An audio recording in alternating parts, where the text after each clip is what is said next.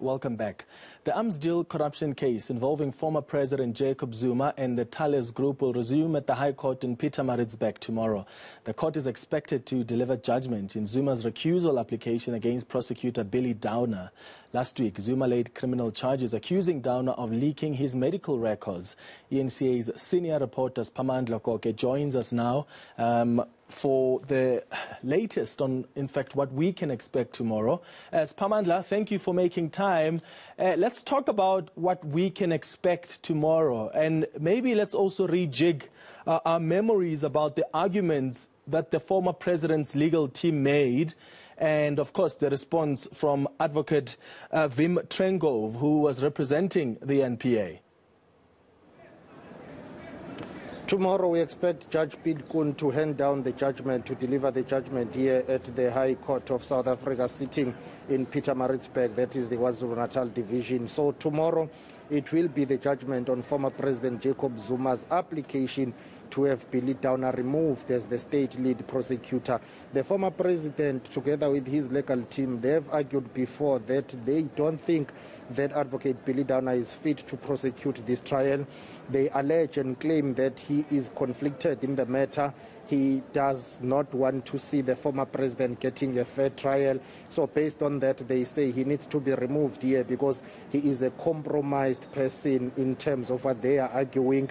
They say he will not be able to try this matter in a manner that will ensure that the former president gets a free trial.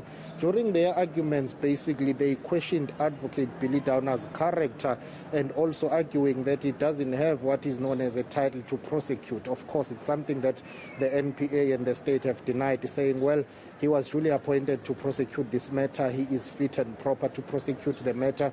So this will be the first step in ensuring that at least we are getting closer to the trial starting. Of course, it will depend on how Judge Piet Koen rules tomorrow. If he rules in favor of the former president to have Billy Downer removed or whether he will dismiss former President Jacob Zuma's application, we can only find out tomorrow. And we hope that he will outline his reasons tomorrow he will outline his reasons tomorrow when he delivers that judgment. But in terms of what is expected, we expect that at least there will be attorneys who will come to court to note the judgment. Of course, all parties will have to note and study the judgment after it's been handed down, depending whichever way it goes. But let's take a listen to what Advocate Dali Mpofu, for representing former President Jacob Zuma, said last time in court when he was arguing and alleging that Advocate Billy Downer is responsible for leaking former President Jacob Zuma's sensitive medical information.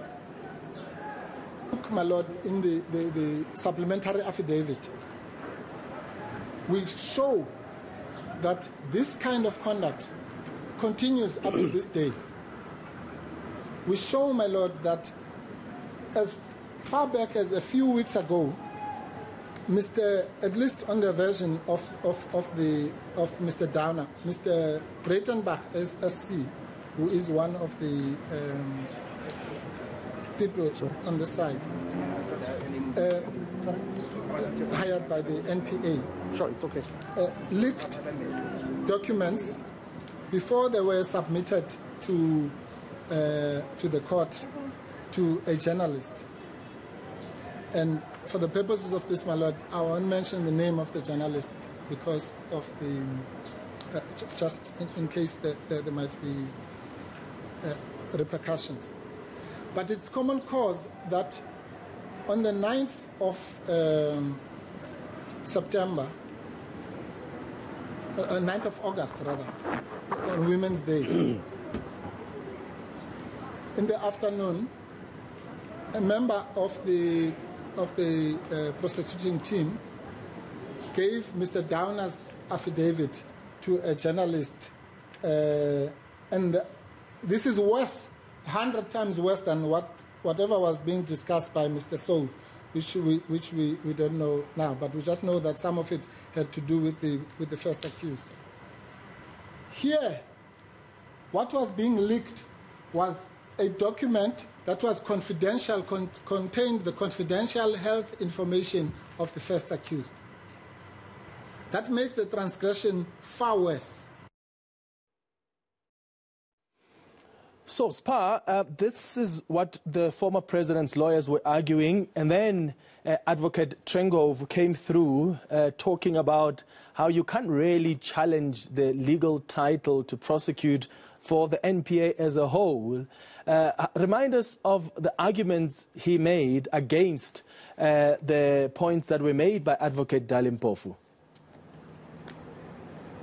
Well, he says this tactic by former President Jacob Zuma and his legal team, it's one of those things that they have classified as time delaying tactics because the former president and his legal team, they are not only going for Advocate Billy Downer, but it appears as if they are going for the entire prosecution's team here. They are questioning their credentials, they are questioning their authority, the title to prosecute. Of course, the state lead prosecutor is Advocate Billy Downer. It would assume that everything centers around him. But basically, former President Jacob Zuma and his legal team are questioning the entire prosecution's team here, something that Wim Trengove, representing Advocate Billy Downer in the state, because Advocate Billy Downer is uh, direct uh, implicated in this matter, or allegedly by the former president and his legal team, so he couldn't defend himself. They needed to get someone to argue on his behalf. That's when uh, Wim came in to argue that, well, all those allegations and arguments, submissions made by former President Jacob Zuma, they do not hold water because what he says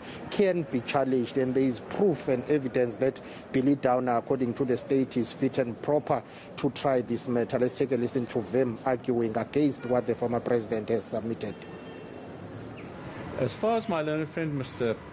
Mpofu is concerned, the, the history of this matter is that the uh, Surgeon General's doctors who treat Mr. Zuma rendered reports on the 30th of August 2021 in which they, the bottom line is that they say that he is not fit to stand trial. The NPA's doctors rendered a report on the 13th of September 2021 to the effect that he is fit to stand trial. Mr. Downer asked um, the, Mr. Zuma's attorney whether the um, Surgeon General's doctors accept the conclusion of the uh, of the NPA doctors. He asked them on the 14th of September. That's in Annexure AA to Mr. Downer's affidavit. And since then, on Saturday, on the 18th of September, he asked them again. They didn't respond to those requests. Instead, yesterday afternoon, we get an affidavit to say um, they, and, and, let me say, because we haven't had a response, and in the light of your lordship's ruling, we brought the medical experts down here. They're sitting in court. They came to give evidence as your order had anticipated, only to get a message by affidavit yesterday afternoon to say, uh, Mr. Zuma is not coming, but we can go on with the application. Well, Spamandla, let's also talk about the former president's first uh, appearance in public. That was last week when he opened criminal charges against advocate Billy Downer. He made some statements there, and some people were arguing even these criminal charges he's laying, could that be a preemptive strike, uh, so to speak? What happened last week? The, the statement of the open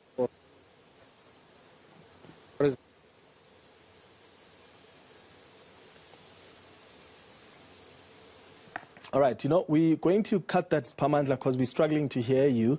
Uh, I'm not sure what's going on with your mic, but maybe we can play the bite.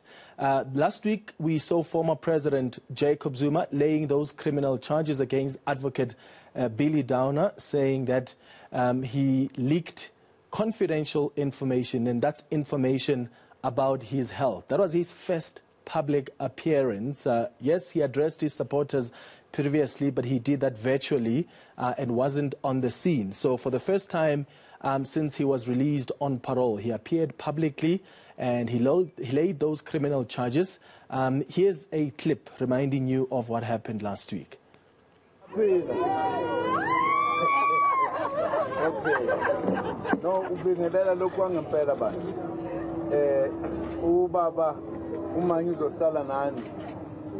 Okay. Nommeli ngala. Eh bafunde istatement ukuthi besize ngani lapha emaphoyiseni. Besizovula icala sivulela umshushisi bazolifunda-ke basho ukuthi lithini lelicala kanjani. Akukho kunye engizokusho mina ngiyahamba ngiyabashiya la. Nazana kakhulu nabo nokwazi noku- noku- nokubonda nabo. Ngikwazi ukubonda nami. Ngisiboshwa mina. So siyashaya iboshwa. Yeah, so the former president was explaining there that he's a prisoner and he's going to have to leave immediately after laying those charges. And then his spokesperson, or the spokesperson for his foundation, um, Mzwanele Manyi, then addressed the media about what really is behind the charges that the former president was laying against Billy Downer. Let's move to this story now.